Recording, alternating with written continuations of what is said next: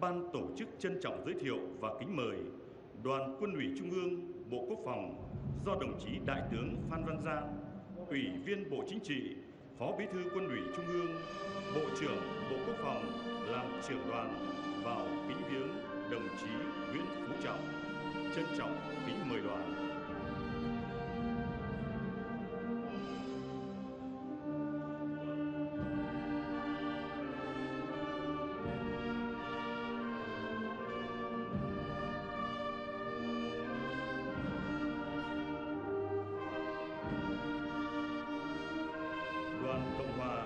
Algeria Dân Chủ và Nhân dân chuẩn bị Đoàn Cộng hòa Vanuatu chuẩn bị.